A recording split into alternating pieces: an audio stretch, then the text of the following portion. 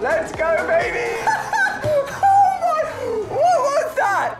So my name's Ali-A, I mainly make YouTube videos about games and recently it's been all about Fortnite. So today I'm here at the Epic Games UK offices where I've got a chance to check out the new replay feature early.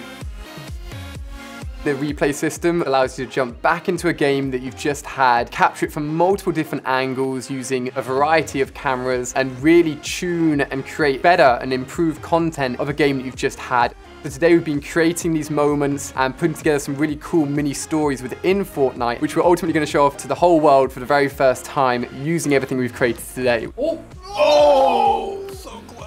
So when I first heard about the replay system, my first thought was that I know so many content creators that would be so happy to see this Really, it just opens up the game in many, many ways. Content creation, improving as a player, doing many things that has previously never been possible in the game.